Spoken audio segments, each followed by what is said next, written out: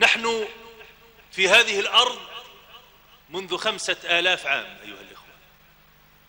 وربما يكون الشعب الفلسطيني بالذات. طبعا خلال كل هذه الأعوام والقرون الطويلة خلال أكثر من خمسة آلاف عام تعاقبت على هذه البلاد وعلى هذه الأرض وعلى القدس دول كثيرة وشعوب كثيرة جاءت وذهبت. عاشت هنا فترة ثم رحلت.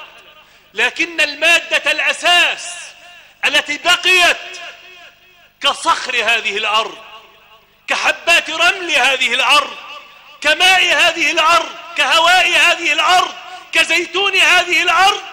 المادة الأساس التي بقيت هي الشعب الفلسطيني الذي لم تمر حقبة في التاريخ. من وجود الشعب الفلسطيني في هذه الأرض. نحن ملح هذه الأرض. نحن مادتها. نحن هواؤها وماؤها. ولن نرحل عنها. والعابرون الكثيرون رحلوا وسيرحلون. هذه الأرض لنا. النكبة صدقوني أيها الإخوة الكرام النكبة ستمضي كما مضى غيرها. الأغراب الاستعمار الصليبي عاش هنا أكثر من 92 عام. ثم اندثر وذهب. التتار جاءوا ثم ذهبوا. غيرهم جاء ثم ذهب.